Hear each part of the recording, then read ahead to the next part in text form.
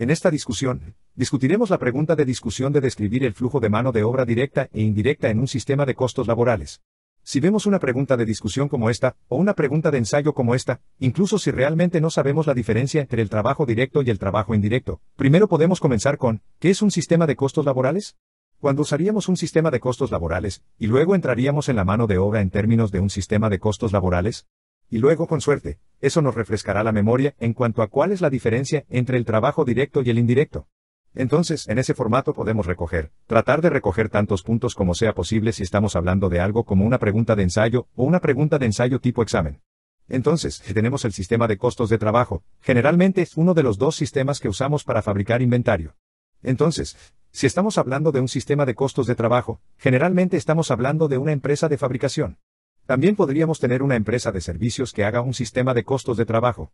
Pero la mayoría de las veces, cuando pensamos en un sistema de costos de trabajo, varias veces, estamos pensando entre los dos sistemas alternativos, el costo del trabajo versus el costo del proceso para las empresas manufactureras. Y el factor diferenciador entre los dos sería que se va a utilizar un sistema de costos de trabajo cuando hay diferenciación entre el tipo de inventario que estamos haciendo y, por lo tanto, tenemos que rastrear los costos por trabajo. Así que ese es el sistema de costos laborales. Ahora, la mano de obra directa dentro del trabajo va a ser un poco diferente a la de una empresa de servicios o una empresa de comercialización, porque la mano de obra directa no se va a aplicar o simplemente se va a gastar en el momento en que se incurre. Vamos a incluirlos si trabajaron en el inventario al inventario. Y eso es un poco diferente con la entrada del diario, en la que pensamos cuando pensamos en registrar, básicamente la nómina de salarios. Acreditamos en efectivo, o acreditamos salarios a pagar, debitamos en este caso, vamos a debitar el inventario, no debitar el gasto en el momento en que se incurrió. Por lo tanto, el trabajo, la mano de obra que estamos consumiendo en este momento nos está ayudando a generar un activo, no nos ayuda a generar ingresos, pero nos ayudará a generar ingresos en el futuro y, por lo tanto, tanto directos como indirectos, eventualmente serán parte del inventario, en lugar de ser gastados en el momento de incurrir. Lo gastaremos al final, cuando vendamos el inventario en forma de costo de los bienes vendidos. Entonces, ¿cuál es la diferencia entre directo e indirecto? Si estamos hablando de un sistema de costos de trabajo, podemos pensar en cualquier cosa que sea directa, es decir, que podamos aplicarlo directamente a un trabajo. Entonces, estamos hablando de personas que trabajaron directamente en un trabajo, generalmente los trabajadores por hora que podemos pensar más fácilmente que trabajan específicamente en un trabajo, podemos aplicar su nómina a un trabajo específico, y esa será la documentación de respaldo para el documento. ¿Dónde está el documento? La cuenta de trabajo en curso y la cuenta de productos terminados. En otras palabras, Vamos a debitar el trabajo en curso a medida que se realiza el trabajo, en lugar del gasto por salarios, aumentando el trabajo en proceso y la cuenta de inventario. Vamos a respaldar ese débito en el balance de comprobación con hojas de costos de trabajo, porque sabemos en qué trabajo se trabajó. Si sumamos todas las hojas de costos del trabajo, entonces se sumarán, o al menos las abiertas.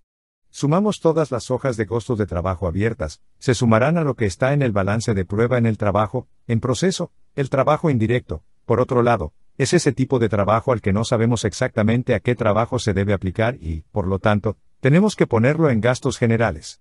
Y todavía estamos hablando de cosas que van a pasar al inventario, al inventario. Sabemos que tiene que ser un inventario en alguna parte. Simplemente sabemos, no sabemos qué inventario, no sabemos en qué trabajo se trabajó. Y eso podría ser algo, cualquier cosa que digamos que está en la fábrica, como el salario de un supervisor, el salario de mantenimiento, cualquier tipo de salario en el que básicamente no estén trabajando en un trabajo en particular, pero posiblemente, como un supervisor que mira todos los trabajos, y no sabemos exactamente en qué trabajo estaban trabajando, así que simplemente vamos a tomar su salario, y lo vamos a poner en gastos generales, y luego vamos a aplicarlo usando algún tipo de factor de asignación. Entonces, la diferencia entre directo e indirecto es que lo indirecto no lo hacemos, no lo podemos aplicar directamente al trabajo en proceso. Tengo que ponerlo en la parte superior. Lo aplicaremos al trabajo en proceso una vez que ese cubo de cosas, incluida la mano de obra indirecta, se asigne utilizando algún tipo de método de estimación y estimación para hacerlo. Entonces, eventualmente, después de que haya ocurrido la estimación, aplicaremos el trabajo en proceso, o el trabajo indirecto al trabajo en proceso, junto con los otros gastos generales. Así que eventualmente se pondrá a trabajar en proceso. Proceso. Y luego, una vez que los trabajos están hechos, entonces mi trabajo está hecho. Esos empleos, esos empleos, se trasladarán a los productos terminados.